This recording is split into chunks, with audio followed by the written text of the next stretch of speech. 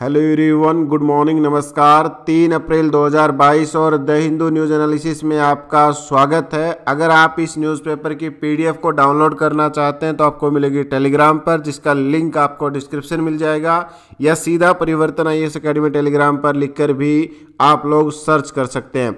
सबसे पहले बात करेंगे इंडिया और ऑस्ट्रेलिया के बीच में एक ट्रेड डील हुई है। और इसका मकसद क्या है कि पाँच साल में, आने वाले पाँच साल में जो बायोलेटरल ट्रेड है, यानी द्विपक्षीय जो व्यापार होता है, उसको डबल करना है। इसके अलावा इसकी क्या सिग्निफिकेंट है, उसके बारे में बात करेंगे। इससे पहले मैं आपको बता दूँ, देखो, भारत कई सारी कंट्रीज़ के साथ फ्री ट्रेड एग्रीमेंट को लेकर कंसल्टेशन कर रहा है। रिसेंटली हमने पढ़ा था यूनाइटेड अरब अमीरात के साथ हमारा एग्रीमेंट हुआ है। इसके पहले अगर आप देखेंगे यूके हो कनाडा हो, या दूसरी कंट्रीज़ के साथ भी हमारा कंसल्टेशन लगातार जारी है। इसी कॉन्टेक्स्ट में ऑस्ट्रेलिया एक इम्पोर्टेंट कंट्री है, जिसके साथ हमारा एग्रीमेंट हुआ है और अगले पाँच सालों में भारत और ऑस्ट्रेलिया के बीच में जो ट्रेड है, उसको डबल करना, ये इसका एक इनिशिएटिव है। क्या सिग्निफिकेंट है इस इकोनॉमिक पैक्ट की भारत के लिए और ऑस्ट्रेलिया के लिए? ये क्यों इम्पोर्टेंट है? क्योंकि अगर आप देखेंगे ऑस्ट्रेलिया की भी चाइना से बहुत ज़्यादा अच्छी रिलेशन नहीं है और इंडिया के भी पॉलिटिकल परस्पेक्टिव से अच्छे नहीं इकोनॉमिक परस्पेक्टिव से अगर बात करें तो इंडिया और चाइना के बीच में जो ट्रेड है बायोलिट्रल ट्रेड 125 बिलियन डॉलर से ज़्यादा है। तो इकोनॉमिक फ्रंट पर आप रिलेशन कह सकते हैं, लेकिन पॉलिटिकली अभी भी इंडिया एंड चाइना के बीच में डिस्प्यूट है। यहाँ पर बात की जा रही है कि India Australia economic cooperation and trade agreement हुआ है। इसका मकसद ये है कि दोनों कंट्रीज़ के बीच में ट्रेड को इंक्रेज करना है और ख़ासकर लेबर इंटेंसिव सेक्टर जो है वो इसको बेनिफिट करेगा। इसमें और इसके अलावा यहाँ पर बताया गया कि इंडिया के जो चीफ है और योगा टीचर है, उनको भी ऑस्ट्रेलिया में बेनिफिट मिलेगा। यहाँ पर कुछ इंपॉर्टेंट जानकारी बताएगी, जैसे लेबर इंटेंसिव जो है इंडियन सेक्टर जैसे टेक्सटाइल है जेम्स ज्वेलरी है leather food and farm produce है, या ऑटोमोबाइल इनको बेनिफिट होगा। ऑस्ट्रेलियन कोल मिनरल और वाइन इनको ईजिली एंट्री मिलेगी। देखो, कोयले को लेकर भारत की इंपोर्ट पर अभी भी डिपेंडेंसी हालाँकि कोयला भारत में अच्छा खासा प्रोडक्शन होता है बट जो हमें अच्छी क्वालिटी का कोयला चाहिए, वो इंपोर्ट अब भी करते हैं। कोकिंग कोल हम काफ़ी इंपोर्ट करते हैं। इसके अलावा यहाँ पर एक तरीके से इसको लेकर भी डिस्कशन हो रहे हैं। कि जो ऑस्ट्रेलियन साइड से विस्की या जितनी अल्कोहलिक बेवरेजेज है, उनको इंडिया में एंट्री मिले। इसको लेकर भी एक ट्रेड को लेकर डिस्कशन है। इसके बाद यहाँ पर इंडियन स्टूडेंट जो पढ़ने जाएँगे, उनको वर्क वीज़ा भी एक तरीके से परमिट किया जाएगा टू टू फोर ईयर इसके बाद business communication construction engineering services जो है वो बेनिफिट मिलेगी और फास्ट ट्रैक अप्रूवल को लेकर काम किया जाएगा, खासकर जेनरिक और बायोसिमिलर मेडिसिन के परस्पेक्टिव में। ये कुछ बातें इसके अंदर बताई गई है, ठीक है? इसके बाद ये विज़िट इंपॉर्टेंट क्यों थी? ये एक एग्रीमेंट क्यों इम्पोर्टेंट था उसका एक उसके अपने मायने हैं। दोनों कंट्रीज़ ने ये टारगेट रखा है। कि 50 बिलियन डॉलर का ट्रेड को इम्प्रूवमेंट करना है, यानी अब 25 बिलियन डॉलर का ट्रेड अगर हो रहा है तो उसको डबल करना है 50 बिलियन डॉलर तक। इंडिया और चाइना का हमने डिस्कशन किया। यूएई का टारगेट है कि 100 बिलियन डॉलर तक का ट्रेड करना है। तो इन दोनों में थोड़ा डिफरेंस है अलग अलग कंट्रीज़ के परस्पेक्टिव में। तो इसको भारत की तरफ़ से बोला गया कि वाटर शेड मोमेंट है, यानी एक हिस्टोरिकल मोमेंट है दोनों कंट्रीज़ के टाइज में। ये कंट्रीब्यूट करेगा इंडो पैसिफिक रीजन के अंदर सप्लाई चेन की रेजिलेंस को लेकर। देखो अगर आप देखेंगे कोविड नाइन्टीन के दौरान एक इशू काफ़ी ज़्यादा क्रिएट हो गया था। जब चाइना में रिस्ट्रिक्शन लगे थे तो बहुत सारी कंट्री चाइना के के ऊपर डिपेंड है। चाइना में अगर सप्लाई चेन डिस्टर्ब हो जाएगी तो ये पूरा एक तरीके से डिस्टर्ब कर देता साइकिल को ही। इसी कॉन्टेक्स्ट में ऑस्ट्रेलिया जापान और इंडिया ने सप्लाई चेन इनिशिएटिव नाम से एक एग्रीमेंट भी किया था कि भाई, हम लोग सप्लाई चेन को डाइवर्स करेंगे और एक कंट्री पे डिपेंडेंसी को अपनी रिड्यूस करेंगे। ये कुछ जानकारी दी गई। इसके अलावा यहाँ पर यह भी बताया गया कि दोनों कंट्री जो है यहाँ पर वही जो सेम चीज़ें मेजर इकोनॉमीज़ के रूप में फार्मर्स के लिए मैन्युफैक्चर मैन्युफैक्चरर्स के लिए या जो प्रोड्यूसर होते हैं उनके लिए एक इम्पोर्टेंट रोल प्ले करेगा और बहुत सारी चीज़ों को ड्यूटी फ्री एक्सेस मिलेगी या ज़ीरो ड्यूटी उनके ऊपर लगेगी या टैरिफ उनके ऊपर न के बराबर लगेगा। इसके बाद एक नेक्स्ट पेज पे भी एक मेंशन किया गया है, जो सेवन और एट नंबर पेज होगा, उसके बारे में आपको यही बता देता हूँ। देखो ऑस्ट्रेलिया भारत से चाहता था कि रीजनल कॉम्प्रिहेंसिव इकोनॉमिक पार्टनरशिप में एक तरीके से इंडिया मेंबर बने। रीजनल कॉम्प्रिहेंसिव इकोनॉमिक पार्टनरशिप है क्या? बेसिकली फ्री ट्रेड एग्रीमेंट ही आप कह सकते हैं, जो ये टेन आशियन कंट्री है और पाँच कंट्री आती है, जिसमें ऑस्ट्रेलिया इसके बाद New Zealand Japan Japan South Korea और चाइना चाइना ये टोटल आती है पंद्रह कंट्री भारत से उम्मीद थी कि इसमें ज्वाइन करेगा बट भारत ने ज्वाइन नहीं किया, क्योंकि एक तो ओरिजिन का इशू है और दूसरा भारत का यह मानना था कि अगर हम इसको ज्वाइन करते हैं तो जो चाइनीज़ आइटम्स है, वो डंप करके इंडिया के अंदर आएगी और उसका इम्पैक्ट भारत के लोकल ट्रेडर्स पर पड़ेगा। हालाँकि डिबेट काफ़ी ज़्यादा है कि भारत को ज्वाइन करना चाहिए कि नहीं। लेकिन ये वाली जो जोग्राफिकल लोकेशन है, बहुत ज़्यादा इंपॉर्टेंट है और कई बार न्यूज़ में है। रिसेंटली हमने पढ़ा था कि सोलोमन आइलैंड को लेकर काफ़ी ज़्यादा न्यूज़ में है, क्योंकि इस पर्टिकुलर एरिया में डिबेट ये हुई थी कि चाइना अपना मिलिट्री बेस बना सकता है और इस कॉन्टेक्स्ट में ये इसलिए भी इम्पोर्टेंट है कोरल सी को लेकर ऑस्ट्रेलिया न्यूज़ में है, जो ग्रेट बैरियर रीफ है, इसी कॉन्टेक्स्ट में भी न्यूज़ में है। तो ज्योग्राफिकल क्वेश्चन आपको देखने को मिल सकता है इस पर्टिकुलर एरिया के परस्पेक्टिव से। इसके बाद बात करेंगे पाकिस्तानी आर्मी चीफ। उन्होंने ये बोला है कि भाई, भारत के साथ बातचीत करिए टॉक्स करिए। बड़ी इंटरेस्टिंग चीज़ें हैं। पाकिस्तान में अगर आप हिस्टोरिकली देखेंगे, जब से पाकिस्तानी नामक अलग से कंट्री बनी है 1947 से ही, पाकिस्तान में डेमोक्रेसी और मिलिट्री इनका कंबाइंड रहा है। यानी कई बार आपने ऐसे सुना होगा, जैसे कोई पोस्ट होती है टाइपिंग कम कलरक करके इस तरीके से पोस्ट होती है। तो यहाँ पर डेमोक्रेसी कम, मिलिट्री रूल आपको ज़्यादा देखने को मिलेगा और लगभग 50 परसेंट मिलिट्री रूल ही रहा है। बड़ी इंटरेस्टिंग बात है, देश की फॉरेन पॉलिसी के बारे में बात कर रहे हैं आर्मी चीफ ये थोड़ा अजीब लगता है। कभी भी आपने इंडिया के जो आर्मी पर्सनल्स होते हैं, चाहे नेवी हो या आर्मी हो या एयरफोर्स हो कभी भी फॉरेन पॉलिसी के बारे में डिस्कशन नहीं करते हुए यहाँ पर दो चीज़ें आपको समझना पड़ेगा। एक होता है वेल एस्टेब्लिश डेमोक्रेसी और दूसरा होता है जहाँ पर डेमोक्रेसी के नाम पर डेमोक्रेसी नहीं होती। ये चीज़ें उसी तरीके से इन्होंने क्या बोला? कि भाई भारत के साथ जो है वो डिस्कशन करिए और इसमें जितने भी इश्यूज़ है, चाहे कश्मीर इशू डिस्प्यूट दोनों कंट्रीज़ के बीच में, उनको लेकर भारत के साथ डायलॉग हमें करना चाहिए और पीसफुल सेटलमेंट जो है वो इन चीज़ों को होना चाहिए। हम नहीं चाहते कि फ्लेम्स ऑफ़ फायर जो इस पूरे रीजन के अंदर एक एक तरीके से आग लगती रहे या बोल सकते हैं कि भाई जो इश्यूज़ है, इस डिस्प्यूट है, उसको कहीं ना कहीं कंटिन्यू करते रहे। इसी परस्पेक्टिव में उन्होंने कश्मीर डिस्प्यूट को सॉल्यूशन को लेकर हो इवन इन्होंने सजेस्ट किया कि ट्राईलेटरल डायलॉग हो, क्योंकि भारत का पाकिस्तान और चाइना दोनों के साथ डिस्प्यूट है। तो उन्होंने कहा कि इंडिया, चाइना बॉर्डर और इंडिया, पाकिस्तान बॉर्डर दोनों पर डिस्प्यूट है। तो क्यों नहीं चाइना, इंडिया, पाकिस्तान एक डायलॉग्स में इस, इसके थ्रू एक चीज़ों को सॉर्ट आउट किया जा सके? हालाँकि इस तरह के स्टेटमेंट की कितनी इंपॉर्टेंस होगी इंडिया में, ये आने वाले टाइम में पता चलेगा। लेकिन यहाँ पर देखिए, पाकिस्तान इस टाइम पे एक पॉलिटिकल क्राइसिस फेस कर रहा है और यहाँ पर आप इसके बीच में एक न्यूज़ देखेंगे भी। पाकिस्तान के जो प्राइम मिनिस्टर इमरान खान, उनके अगेंस्ट नो कॉन्फिडेंस मोशन लाया गया कि आपका सरकार में समर्थन नहीं है।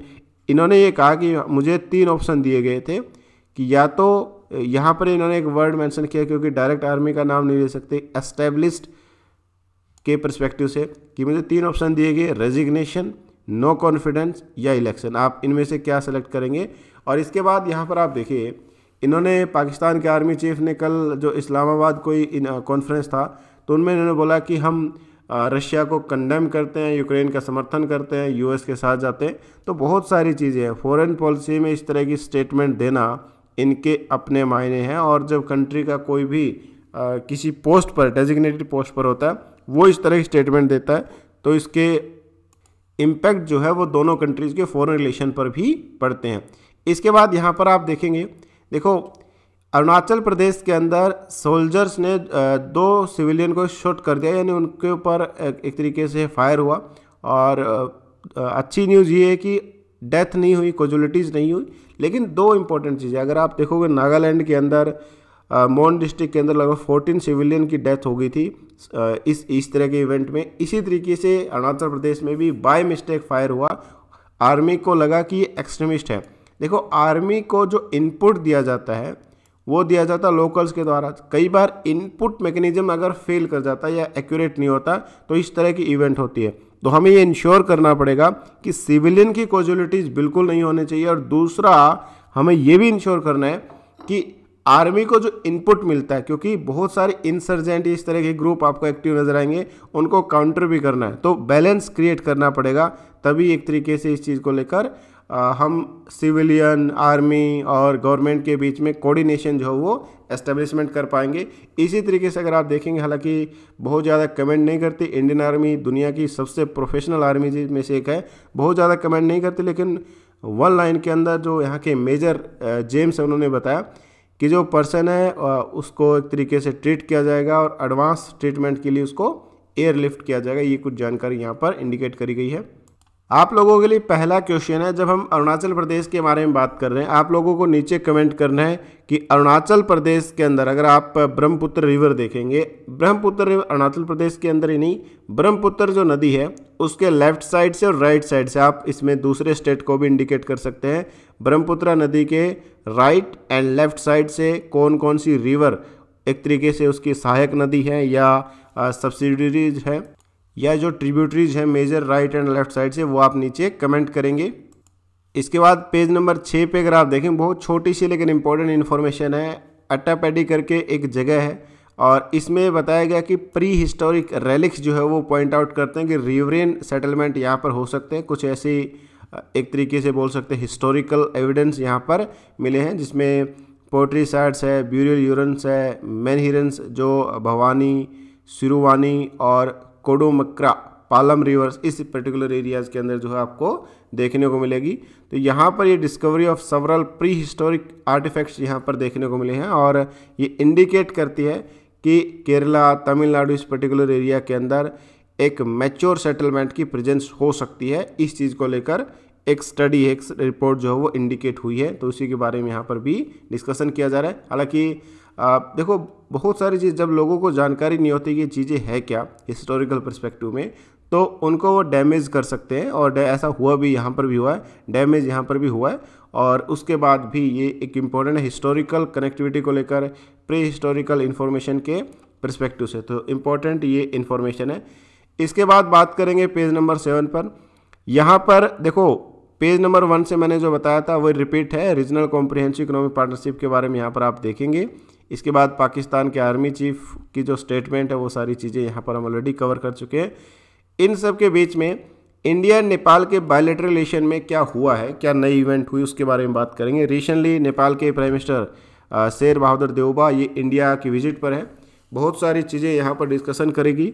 नेपाल के प्राइम मिनिस्टर साहब की जो पहली रिक्वेस्ट थी कि भारत और नेपाल के बीच में जो बॉर्डर डिस्प्यूट है बॉर्डर डिस्प्यूट कहाँ पर है, उसके बारे में बात करेंगे। इसको रिजोल्व करने के लिए स्टेप लीजिए। दोनों ने basically cross border railway link को एक तरीके से फ्लैग ऑफ़ किया और दोनों कंट्री नेपाल और इंडिया अपने बायोलिट्री रिलेशन को कैसे इंप्रूवमेंट कर सकती है, इसको लेकर भी डिस्कशन किया गया। तो जानेंगे क्या क्या इंपॉर्टेंट चीज़ें हुई है।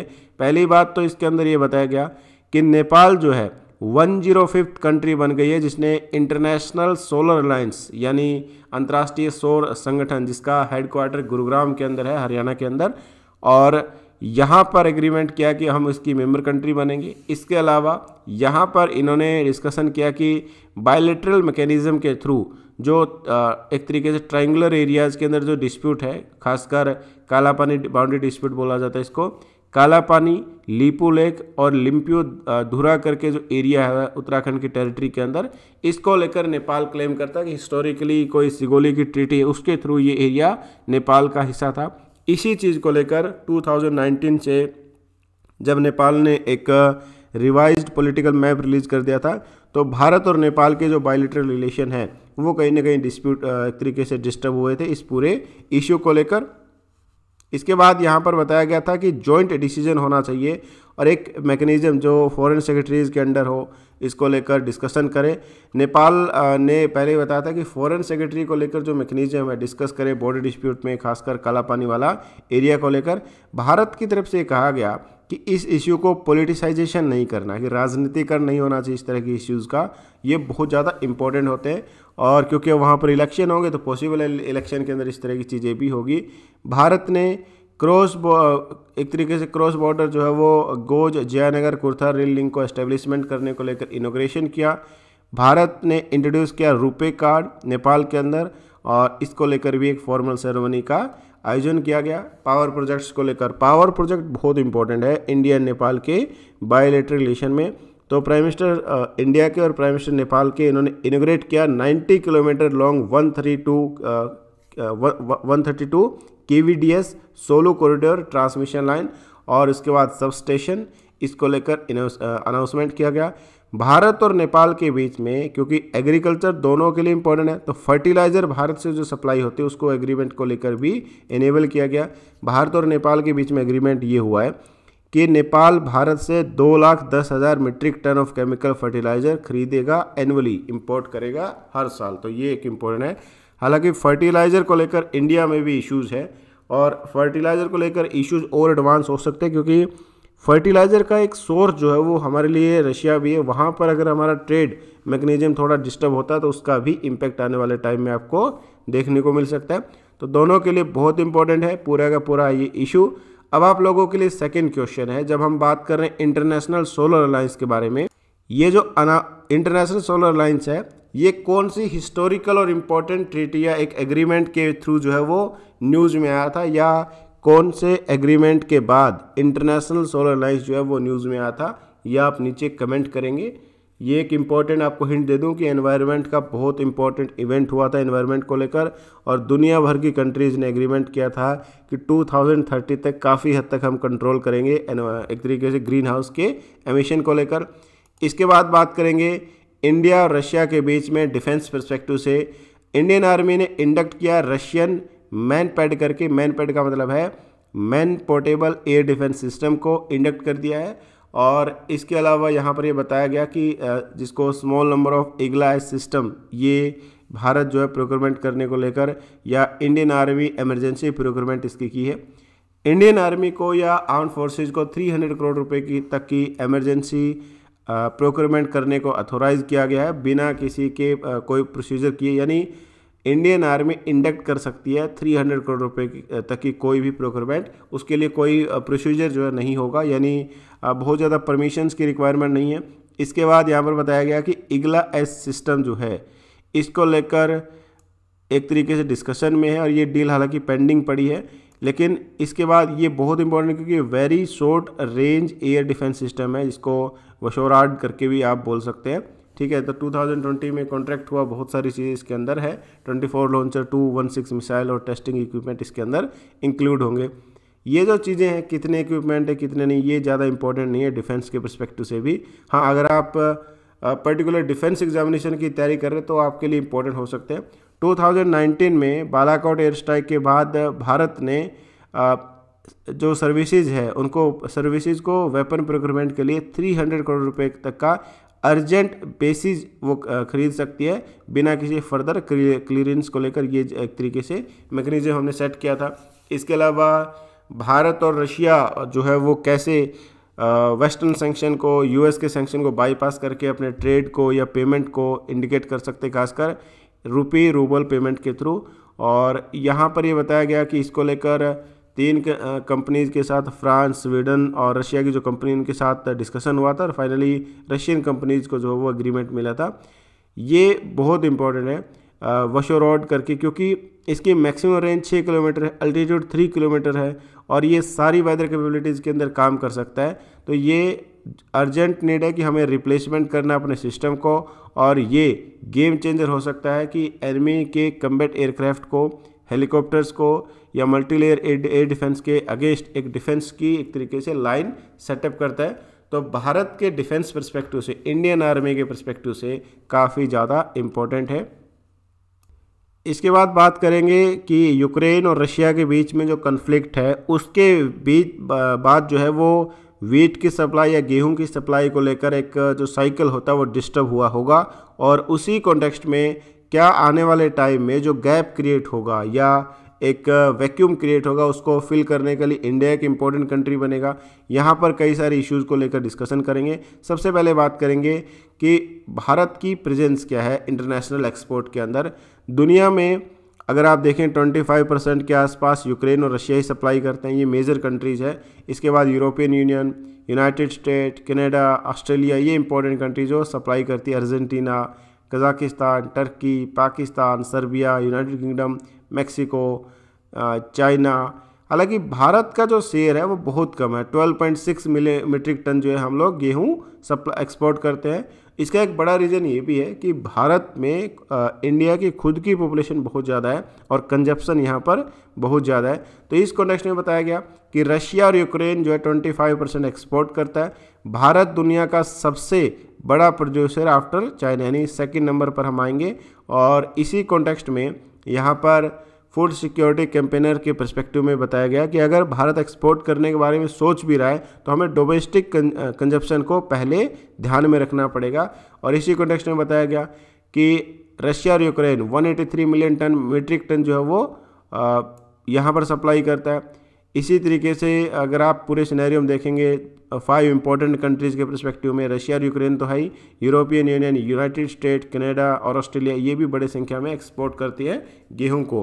तो आने वाले टाइम में बहुत सारी कंट्रीज़ को जो काफ़ी हद तक रिलाई करती है रशिया और यूक्रेन से गेहूँ को लेकर many country Africa West Asia South East Asia Russian और यूक्रेन पर तो ये एक तरीके से अल्टरनेट सोर्स के ऊपर इंडिकेट कर सकती है। जैसे यहाँ पर ये बताया गया कि इनमें अगर आप रिक्वायरमेंट के परस्पेक्टिव से देखते इंडोनेशिया जो सेकंड लार्जेस्ट इम्पोर्टर है, जिसमें थर्टी परसेंट डिपेंडेंसी है, किसके ऊपर? एक तरीके से गेहूँ के ऊपर। इसी तरीके सबसे ज़्यादा इंपोर्ट पर डिपेंडेंसी इजिप्ट की। 93 परसेंट इम्पोर्ट करता है। Sudan 60 percent Tanzania 64 Libya 53 percent Tunisia 70 sorry 52 percent West Asian country including Lebanon 77 percent Yemen 50 percent you forty percent इन दो कंट्री के ऊपर डिपेंड है। ये जो परसेंटेज दी गई है, इसको याद करना ज़रूरी नहीं जस्ट एक अंडरस्टैंडिंग के लिए है। इसके बाद भारत की तरफ़ से APEDA agriculture and proceed food, processed food product export developing authority, उन्होंने बताया कि हमारा टारगेटिंग मार्केट होगी Egypt, Turkey, Nigeria, Algeria, West Asia, Indonesia, Vietnam, Sri Lanka, Bangladesh, Thailand, Philippines, Morocco and Tanzania. ये कुछ चीज़ें बताएगी इसके बाद यहाँ पर ये बताया गया कि भाई ठीक है, आपको सप्लाई करनी है, ये अच्छी बात है प्रोडक्शन अच्छा होने की पॉसिबिलिटी मार्च टू मई के बीच में, लेकिन यहाँ पर दो इंपॉर्टेंट बातें बताई गई है। हमें आप एक्सपोर्ट करना चाहते हैं, करें, कोई दिक्कत नहीं है, लेकिन यहाँ पर ये बताया गया कि सबसे पहले हमें इंश्योर करना पड़ेगा कि हमारा पब्लिक डिस्ट्रीब्यूशन सिस्टम उसमें कोई डिस्टर्बेंस क्रिएट ना हो। हमारी जो स्कीम है, प्रधानमंत्री गरीब कल्याण अन्न योजना, इसको लेकर कोई डिस्टर्बेंस नहीं होना चाहिए। और ओवरऑल आप इसमें ये भी इंश्योर करें कि फार्मर्स को एमएसपी से ज़्यादा प्राइस मिले मिनिमम स्पोर्ट प्राइस से ज़्यादा मिले ओवरऑल फार्मर्स को भी इसका बेनिफिट मिलना चाहिए, ये भी जानकारी जो है वो दी गई। इसके बाद कुछ ऑब्जेक्शंस भी, क्या इस तरह के इश्यूज़ को लेकर वर्ल्ड ट्रेड ऑर्गेनाइजेशन के अंदर ऑब्जेक्शन हो सकते हैं? क्योंकि राइस एक्सपोर्ट को लेकर इश्यू हो गया था और एक जो वर्ड यूज़ होगा, यहाँ पर ये वर्ड मेंशन किया गया पीस क्लोज यूपीएससी फिल्म्स में एज इट इज़ ये क्वेश्चन पूछ लिया था कि पीस क्लोज किस इंटरनेशनल ऑर्गेनाइजेशन से रिलेटेड है? तो ये डब्ल्यूटीओ से रिलेटेड है। डब्ल्यू टी यूपीएससी फिल्म्स का one of the favourite organisation है। तो यहाँ पर बताया गया कि डब्ल्यूटीओ की जो मिनिस्ट्रियल मीटिंग हुई थी 2014 में, उसमें अडॉप्ट किया गया था। लेकिन ये भारत को एक्सपोर्ट करने से नहीं रोक रहा है कि भारत अगर एक्सपोर्ट कर रहा है तो इसका एक टारगेट है कि दुनिया के अंदर वीट के प्राइस को स्टेबलाइजेशन करना, यही इसका टारगेट है। और इसका ओवरऑल ये भी बताया गया कि फार्मर्स को इसका बेनिफिट मिलना चाहिए। ऐसा नहीं कि सरकार एक्सपोर्ट करे और किसानों को इसका फ़ायदा ना हो, ऐसा नहीं होना चाहिए, ठीक है? इसके बाद एक छोटी सी इंपॉर्टेंट यहाँ पर इंफॉर्मेशन है। Government seeks supreme court ruling on minor anticipatory bail anticipatory का मतलब होता है अग्रिम जमानत, ठीक है? और ये बात की जा रही है माइनर के परस्पेक्टिव में, यानी जो 18 साल से नीचे चाइल्ड है जुनाइल है, उस केस के कॉन्टेक्स्ट में। और ये क्यों इंपॉर्टेंट है? क्योंकि इसको लेकर डिबेट हो रही कि जो एक फंडामेंटल राइट right है to personal liberty of minor उसके बारे में और इसमें जो एक criminal procedure criminal procedure for juvenile के अंदर सेक्शन 438 के बारे में डिस्कशन किया गया। 2015 में जुनाइल जस्टिस एक्ट बनाया गया, लेकिन तब एंटीस्पेटरी बेल के बारे में बहुत ज़्यादा डिस्कशन नहीं था। इसके अलावा इसके अंदर आर्टिकल 21 राइट टू लाइफ के बारे में डिस्कशन कर, किया जाता है और इसके बारे में अलग अलग हाई कोर्ट्स की जो जजमेंट्स आई है उस कॉन्टेक्स्ट में सुप्रीम कोर्ट को लेकर सरकार ने कहा कि भाई, आप एक simple to the point judgement दे ताकि इसको लेकर डिसीज़न जो हो वो लिया जा सके। इसी तरीके से मॉडल रूल्स ऑफ़ 2016 हो या वेरियस रूल जो है कि क्या किसी बच्चे को अरेस्ट किया जा सकता है, लॉकअप के अंदर या जेल के अंदर डाला जा सकता है तो बहुत सारे इसके इम्पैक्ट पड़ सकते हैं। तो इस कॉन्टेक्स्ट में माइनर्स के लिए एंटीसिपेटरी बिल्स को लेकर जो राइट्स है, उसको लेकर सुप्रीम कोर्ट इस पूरे सिनेरियो क्या सोचता है? ये बहुत इंपॉर्टेंट है। और जुवेनाइल जस्टिस एक्ट अमेंडमेंट किया गया था, बहुत इंपॉर्टेंट ये भी एक्ट है। जनरल स्टडी पेपर टू में डायरेक्ट सवाल हो सकता है मेंस के अंदर। इसके बाद कुछ छोटी छोटी इन्फॉर्मेशन है। जैसे चाइना ने जनता रूल म्यांमार को जो है बैक किया यानी मिलिट्री जो रूल है, उसको सपोर्ट किया इन्होंने। इसके बारे में जानकारी दी गई है। इमरान खान पाकिस्तान के प्राइम मिनिस्टर कई दिनों से न्यूज़ में है और शायद आज के बाद न्यूज़ में रहे। बड़ी इंटरेस्टिंग चीज़ें क्या हो रही है? इनके अगेंस्ट नो कॉन्फिडेंस मोशन लाया गया। नो कॉन्फिडेंस मोशन के बाद, जैसे कल ये लेक्चर दे रहे थे, कोई वहाँ का पाकिस्तान का न्यूज़ चैनल है कि स्ट्रीट प्रोटेस्ट करिए, यहाँ पर आप गलियों में प्रोटेस्ट करिए तो क्या पाकिस्तान के अंदर पॉसिबिलिटी हो सकती है? पाकिस्तान के अंदर सिविल वॉर जैसी पॉसिबिलिटी भी हो सकती है, कि दो फ्रैक्शन एक दूसरे से क्लैप्स कर जाए, या एक तरीके से भिड़ना शुरू हो जाए, इसी तरीके से। और इसके अलावा यहाँ पर पॉसिबिलिटी है कि मिलिट्री रूल हो जाए, या पॉसिबिलिटी के आने वाले टाइम में इलेक्शन हो, या पॉसिबिलिटी सबसे ज़्यादा ये है कि फ़िलहाल के लिए इनका जाना या इनको रेजिग्नेशन देना लगभग लगभग तय हो चुका है, और इनको, क्योंकि पार्लियामेंट के अंदर मेजोरिटी नहीं है तो इनको सत्ता छोड़नी पड़ेगी। इसके बाद श्रीलंका के अंदर लगातार वहाँ पर सिचुएशन ख़राब हो रही है, क्योंकि इकोनॉमिक कंडीशन बहुत वीक है, और उस कॉन्टेक्स्ट में लोग काफ़ी ज़्यादा विरोध कर रहे हैं, और ये बोल रहे हैं कि यहाँ के जो प्रेसिडेंट है गोटबाया राजपाक्से इनको रेजिग्नेशन करना पड़ेगा। रिसेंटली वहाँ पर इनके रेजिडेंशियल हाउस के अगेंस्ट एक तरीके से प्रोटेस्ट भी किया गया। बाद में इमरजेंसी और कर्फ्यू वो सारी चीज़ें लागू की गई। चाइना ने बैक किया है म्यांमार के अंदर जो मिलिट्री रूल उसको लेकर और ये इम्पोर्टेंट चाइना के लिए इसलिए है क्योंकि चाइना एक इम्पोर्टेंट बाउंड्री शेयर करता है।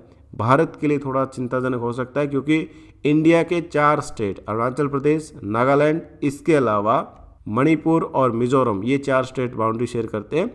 और इंपॉर्टेंट है रिसेंटली बिमस्टेक मीटिंग के अंदर पहली बार जंटा रूल के बाद या मिलिट्री रूल के बाद म्यांमार ने पार्टिसिपेशन किया था इस पूरे ऑर्गेनाइजेशन के अंदर, ठीक है?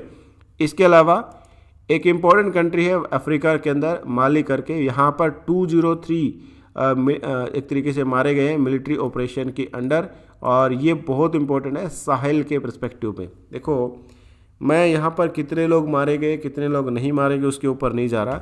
मेरे लिए जो जोग्राफिकल एक इंपॉर्टेंट प्लेस है, वो है साहिल रीजन आपको ये पता होना चाहिए कि साहिल है क्या? अफ्रीकन कॉन्टिनेंट में अगर आप देखेंगे, इस पर्टिकुलर एरिया को साहिल रीजन बोला जाता है, जो कि यहाँ पर आप देखेंगे ये वाला। ये पूरा अफ्रीकन कॉन्टिनेंट है। ये रीजन जो इसको बोला जाता है साहिल रीजन इसमें बुरकिनो फासो है Cameroon Chad Gambia Guinea Mauritania Mali, Niger, Nigeria, Senegal, ये कंट्री आती है और इस पर्टिकुलर एरिया में माना जाता है कि जो अगर आप देखेंगे एक्सट्रीमिस्ट है या मिलिट्री कॉप द्वारा चेंज कर देना, वो सारी चीज़ें काफ़ी ज़्यादा यहाँ पर देखने को मिलती है। तो ये काफ़ी ज़्यादा न्यूज़ में है एरिया मैं रिपीट कर रहा हूँ यूपीएससी फिल्म्स के लिए जो साहिल रीजन है, ये बहुत इंपॉर्टेंट है। तो आप इसको कई बार ये आ चुका है, पूरे साल न्यूज़ में रहा है तो पॉसिबिलिटी है 2022 का जब आप एग्ज़ाम दें तो इस तरह के सवाल भी आपको देखने को मिल सकते हैं। इसके बाद बात करेंगे साइंस एंड टेक्नोलॉजी में। साइंस एंड टेक्नोलॉजी में बहुत इंपॉर्टेंट कोई न्यूज़ तो नहीं है, लेकिन कुछ छोटी छोटी न्यूज़ जैसे आर्टिफिशियल इंटेलिजेंस को लेकर कि आर्टिफिशियल इंटेलिजेंस जो है, क्या इंस्क्रिप्शन को पढ़ने में या पुराने टाइम पे जो इंस्क्रिप्शन थे, जो कहीं ना कहीं किसी वजह से डैमेज हो गए, उसको उसके बाद जो गैप क्रिएट हुआ, उसको फिलअप करने के लिए क्या वो हेल्पफुल हो सकते हैं, इसको लेकर एक स्टडी हुई। इसके बाद यहाँ पर ये देखने को मिल रहा है कि क्लाइमेट चेंज के इम्पैक्ट क्या हो सकता है। आने वाले टाइम में ज़्यादा से ज़्यादा लैंडस्लाइड हो सकती है, क्योंकि ज़्यादा बारिश होगी। ज़्यादा बारिश होगी तो वाइल्ड फायर्स की क्लाइमेट चेंज की वजह से वाइल्ड फायर होने की पॉसिबिलिटी भी है सी लेवल राइज होने की भी पॉसिबिलिटी क्योंकि आइस जो है लगातार मेल्ट हो रही है और उसका इम्पैक्ट ये होगा कि ओवरऑल ये डीस्टेबलाइज कर देगा वेजिटेशन सिस्टम को और डिस्ट्रॉय करेगा उसको और राइजिंग सी लेवल से स्लोप्स को, यानी जो आइस स्लोप्स है उसको कहीं ना कहीं ये डैमेज करेगा। इसके बारे में कुछ छोटी छोटी स्टडी जो वह हुई है। इसके बाद जो पेज नंबर ट्वेल्व है पेज नंबर ट्वेल्व पे जो पूरे वीक टॉपिक न्यूज़ में रहते हैं, उसी के बारे में डिस्कशन किया जाता है, जिसके बाद जैसे जो भी यहाँ पर टॉपिक है ऑलरेडी हमने पूरे वीक अच्छे से डिस्कशन करें। ये वाला जो पेज है एफएक्यू वाला, ये आप सेल्फ स्टडी से पढ़ेंगे। इसके बारे में बता दूँ आपको क्रिमिनल प्रोसीजर बिल के बारे में हमने कई बार पढ़ा है तो यहाँ पर ये टॉपिक है। इसके बाद श्रीलंका के अंदर जो स्टेट ऑफ़ इमरजेंसी लगी है इकोनॉमिक क्राइसिस के बाद श्रीलंका के बारे में पूरा का पूरा इशू डिटेल से डिस्कशन किया गया है, ठीक है? इसके बाद इंडिया और रशिया के बीच में जो डील हो सकती है फ्यूल को लेकर डिफेंस को लेकर क्या रूबल के अंदर होगी इसको लेकर भी हमने डिस्कशन किया है और बिमस्टेक का आ, क्या एजेंडा होगा आने वाले टाइम में इनको लेकर डिस्कशन किया गया है। तो ये अगर आप रेगुलर टच में हैं तो ये सारी चीज़ें आपको पता होगा और नहीं भी पता है तब भी आप इस पेज को सेल्फ स्टडी से ही पढ़ेंगे क्योंकि 30 मिनट्स की लिमिट हम रखेंगे। तो फ़िलहाल के लिए द हिंदू न्यूज़ एनालिसिस में इतना ही। धन्यवाद। जय हिंद।